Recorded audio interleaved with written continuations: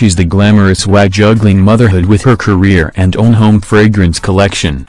And Kyly Clarke has how much she enjoys cooking meals for her family, including husband Michael Clarke and daughter Kelsey Lee, too.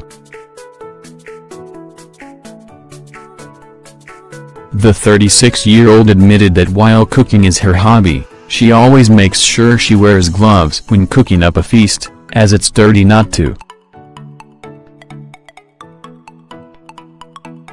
Scroll down for a video I find it dirty and grimy to not wear gloves, Kyly said as she appeared on the morning show.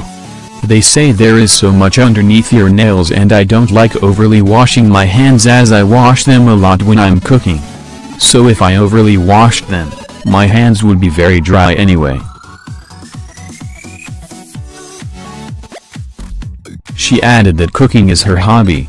I have always been creative and I like to turn things from nothing into something. And I think you get enjoyment out of seeing your family enjoy your food and even critique it so you can become better at something you like doing. Kyly often shares her life with fans, and posts photos of her meals and even exercise regime. This week, she shared to a video of herself boxing, during an exercise session. Training your body also helps to train your mind. When you have faith, passion and the willingness to work hard, anything is possible, Kyly wrote.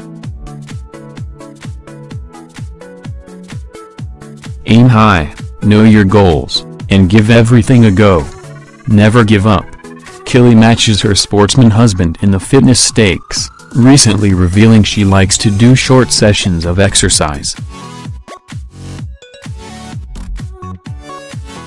My favorite way to exercise is 29 minutes of plyometric work, she told Kate Waterhouse in 2016. It is a great cardio workout with muscle toning elements and overall a fun way to push yourself and punch out a hard 29 minute session. Thanks for watching. Don't forget to like, comment your opinion, share this video and subscribe to my channel. New videos are uploaded every day.